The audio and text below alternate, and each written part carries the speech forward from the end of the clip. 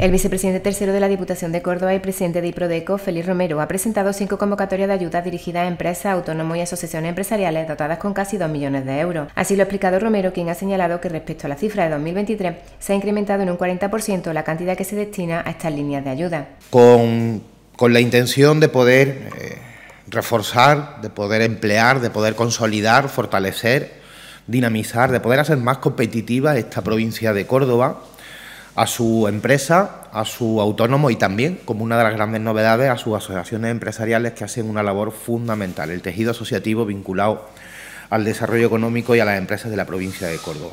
El presidente de Iprodeco se ha referido a la primera de las convocatorias que se pondrá en marcha bajo el nombre de Internacionalízate, cuyo objetivo es facilitar a las empresas cordobesas a salir a nuevos mercados. Estamos hablando de una cuantía que oscila en torno a los 132.000 euros, con ayuda por importe máximo de hasta 3.000 euros y que podrán solicitar, como digo, las empresas de la provincia de Córdoba. La segunda línea de ayuda, ha firmado Romero, saldrá publicada bajo el nombre de Contratarte, una propuesta que contará con 500.000 euros y ayuda de 6.000 euros por solicitante. Y Contratarte fundamentalmente lo que pretende es disminuir la tasa de desempleo de los municipios de la provincia de Córdoba y generar nuevas oportunidades de empleo. En resumen, es darle la posibilidad a que las empresas cordobesas contraten a desempleados vinculamos al desempleado con quienes crean empleo en esta provincia, que son las empresas y los autónomos.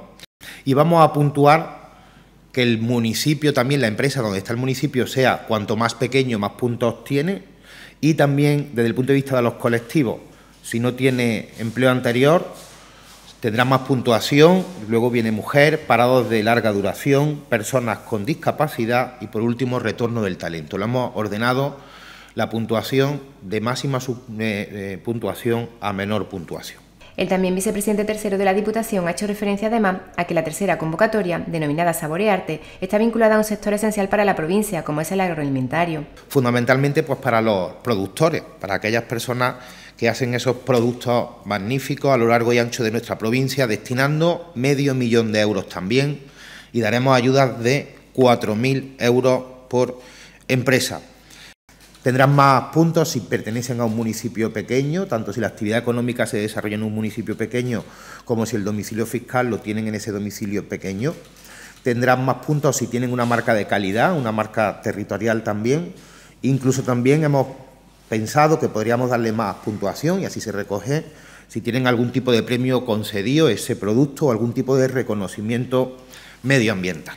La cuarta línea de ayuda, Impulsarte, contará con un presupuesto de 450.000 euros y va dirigida a fomentar la consolidación de los proyectos empresariales sustentados en el trabajo autónomo en la provincia de Córdoba. Y también vamos a puntuar pues todas aquellas cuestiones que nos digan que cuanto más pequeño es el municipio, pues más puntuación tendrá el, autónomo o la, o la empresa susceptible de ser beneficiaria.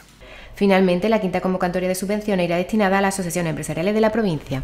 Para nosotros es fundamental el diálogo con ellos y poder ayudarle también en su actividad económica porque repercute y capilariza de una manera transversal todo lo que hacemos de la mano también de, de las asociaciones y de las federaciones.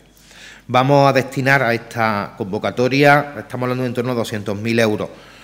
Y en resumen, eso era un poco lo que os quería contar en el día de hoy, presentar este paquete de cinco convocatorias, cinco líneas de ayuda que lanzamos desde el Instituto Provincial de Desarrollo Económico. Insisto que estamos hablando de en torno a dos millones de euros, que estamos incrementando más de un 40% los recursos económicos respecto en años anteriores y lo que, y lo que venimos es a ser más competitivos, a ser más resistentes y a tener más capacidad de la mano de nuestros autónomos y nuestras empresas. ¿Para qué?